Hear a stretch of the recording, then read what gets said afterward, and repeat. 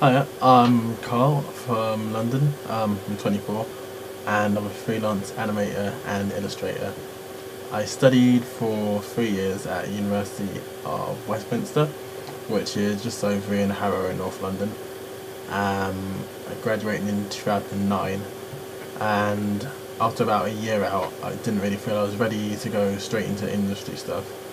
So I saved up a bit of money and took out a professional career development loan. It's a really long way that they put it.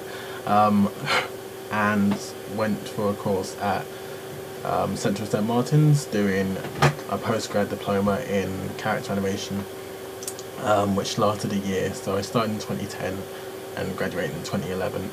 So after that, I had a bit of time doing an internship with a small studio in Shoreditch but um, after that, I kind of realised I wanted to get this loan paid off and get a bit of money in. So I applied with a job agency just in central London.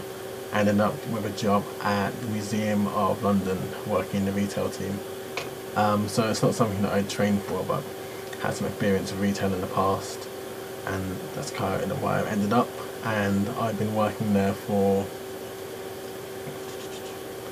a year and three months, which is a lot longer than I thought. but um, um, it's been quite flexible because I've done other projects there in the time. I've recently spent about three to four months working on a short film um, as an assistant, um, which is again something that I would have trained for in the past though. It's right up my alley and because I was temping at the museum, I had some money coming in at the same time so it's kind of been a balancing act and I've also been able to do some illustration stuff for a, web, for a website and also do some screen printing um, for uh, my own business kind of stuff which I'm handily wearing now because I'm a shameless self-promoter.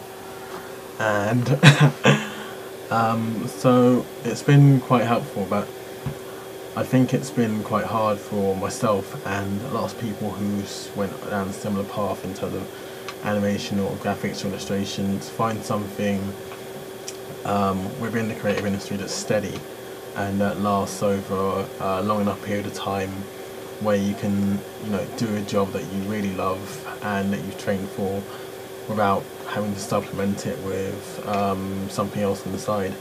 So I think that might be one of the harder things that people doing this kind of work are finding at the moment, um, or just from my own experience anyway. So hopefully that's of interest to you guys. Um, and I'll speak to you soon, I guess. Bye.